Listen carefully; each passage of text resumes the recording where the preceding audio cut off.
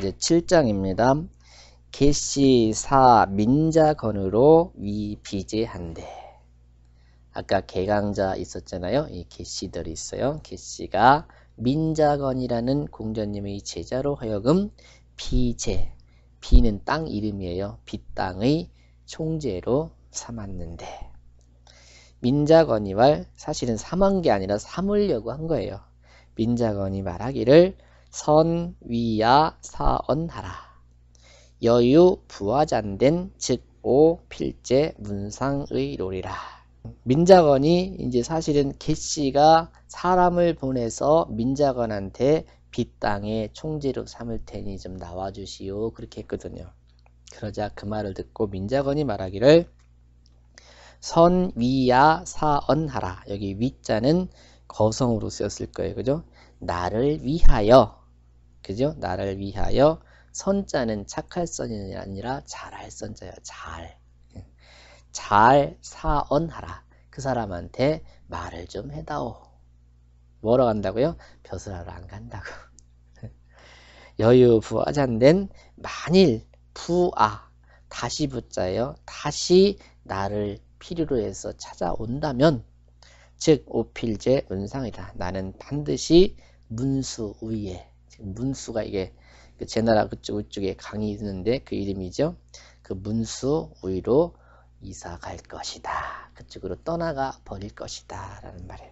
민자건은 공자 제자니 명은 손이라 민자건은 공자의 제자인데 이름은 손이에요. 근데 이 민자건은 굉장히 효성이 강했던 사람이라 하지요. 비는 개시읍이라 비라는 것은 개시가 가지고 있었던 사사읍이에요. 고을이에요. 문은 수명이니 문은 물 이름이니 제 제남도 북경상이라 제나라 남쪽 노나라 북경 노나라 북쪽 경계 위에 있는 강 이름이다 이거죠. 지금 말하면 산동반도 쪽에 있겠네요. 민자 불욕신 개시하야 민자가 개시의 신하가 되고자 하지 않아서 되고 싶지 않아서 영 여기 시로 읽으세요. 영 시자로 선위 기사하니 영자는 하여금 영자예요. 명령할 영자는 평성이라고 표기가 안 돼 있고 하여금 영자일 때만 평성 이렇게 표기가 돼 있어요. 그리고 아까 시자도 사로 안 읽고 시로 읽을 때 거성 이렇게 표기가 돼 있댔죠. 음. 그러니까 그, 그 심부름은 그 사람으로 하여금 선위 기사하니 자기를 위해 말을 잘 해주기를 바랬으니 언약 재래 소화즉 만일 재래 즉 다시 나를 부르러 온다면 당거 지제라 마땅히 가서 제 나라로 가버릴 것이다 이거 노나라에서 지금 벼슬을 시키려고 하니까 아이고 저 강 국경을 넘어서 제 나라로 건너가 버릴 거다 그 말이에요. 정자왈 중리지문에 능 불사 대부지가자는 증자 민자 증자 수인이라. 정자가 말하기를 중리지문에 공자님의 문화생 중에 제자들 중에 능이 대부의 집안에서 벼슬을 하지 않을 수 있는 사람은 그것을 거절할 수 있는 그런 사람은 민자라든지 증자라든지 수인이라 이 숫자는요 우리 샘숫자라고 하지만 수인이라고 할 때는 뭐냐면 둘 이상 다섯 이하를 수라고 그래요. 그러니까 주서 너 명 아니면 너된 명 이렇게 하는 것이 수인이에요. 다시 말하면 민자, 증자 그리고 몇 사람일 뿐이다. 사시발 학자 능소지 내외지분이면 개 가이 낙도이 망인지 세온 사씨가 말하기를 학자가 즉 공부하는 사람들이 능히 소지 내외지분 내면하고 외적인 거죠.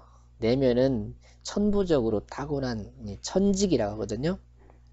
그리고 외적인 것은 밖에서 주는 것들이죠. 내외의 분수를 조금이라도 안다면 다 낙도의 망인지세 도를 즐기면서 다른 사람의 그 위세 있지요. 위세를 잊을 수 있, 을 것이거든. 이게 뭐예요 지금 걔가 개씨가 자기 그 세력으로 무조건 가서 데려와 하면 오는 줄 알았단 말이죠. 그러니 거기를 노 하고 거절했다는 그 얘기죠.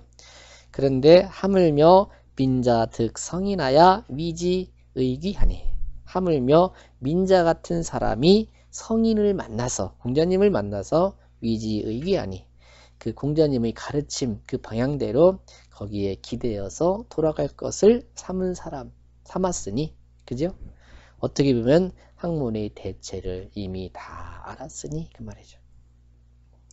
피기시 개시 불의지 부기를 불시 견체니 그 그가 그 개시의 의롭지 못한 상태로 부자가 되고 귀하게 된 것 보기를 그거를 불시 견체니 시자는 다만 뿐 시자예요. 그래서 개견 돼지체니까 개나 돼지뿐 음, 돼지 돼지뿐만이 아니다 이거 돼지처럼 보는 것만이 아니라 이거.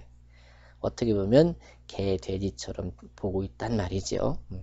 그러니 우 종이 신지는 기기 신제야. 그러니 그를 따라서 그 사람의 신하가 된다는 것은 어찌 그 본심이 되겠는가?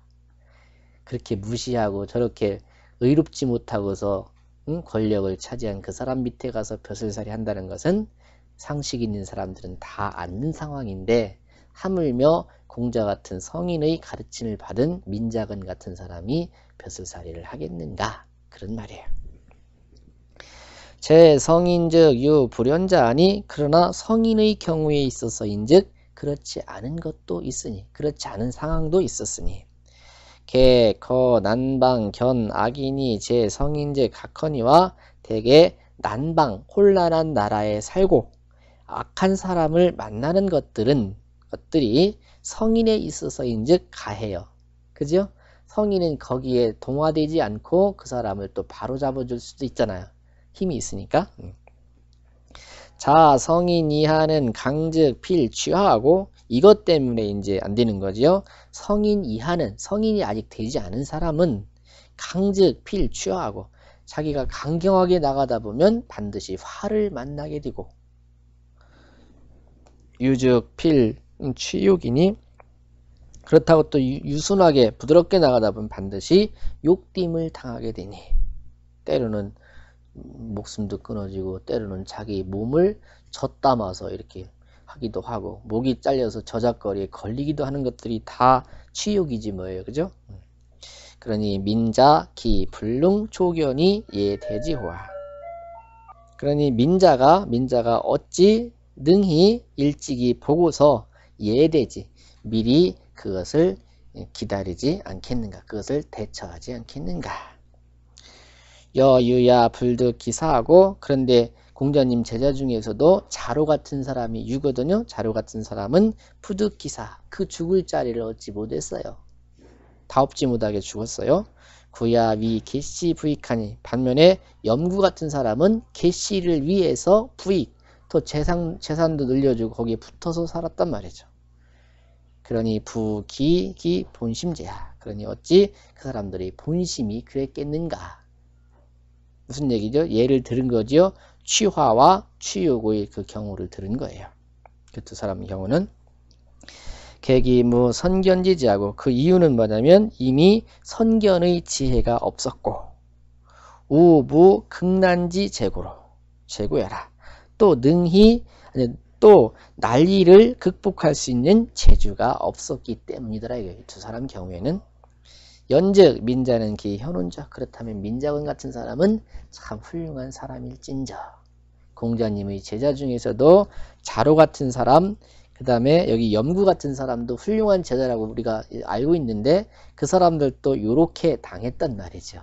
그런데 여기 민자관은 나를 또 찾아오면 나는 떠나버릴 것이다 라고 이렇게 해서 돌려보냈다 이거죠 훌륭한 거죠 그래서 다른 건 다 잊어도 좋은데 여기서는 그러니까 취욕, 그 다음에 취화 이거를 좀 잘 마음속에 담아두시면 처신하는 데 좀 도움이 될 것 같아요. 한번 읽어보겠습니다.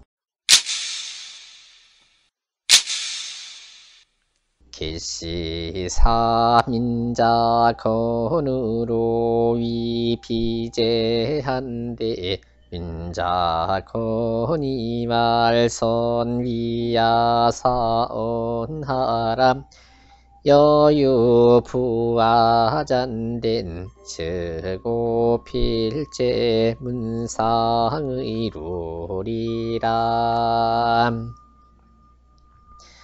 민자 거는 공자 제자니 명은 손이라 비는 계시읍이라 무는 수명이님 제제남도 북경상이라 민자 불욕신 기시하야 영시자로선 위기사님 언약체례 소와즈 당거지제람 정자왈 중리 지문에 능불사 대부지 가자는 민자 증자 수인이라 사시말 학제능 수지 내외지 분이면 개가이 낙도이 망인지세온 황민자의 특성인하야 미지의 귀하님 비기시 기시 부르이지 부귀를 불시 견체니. 오종이 신지는 기기심제야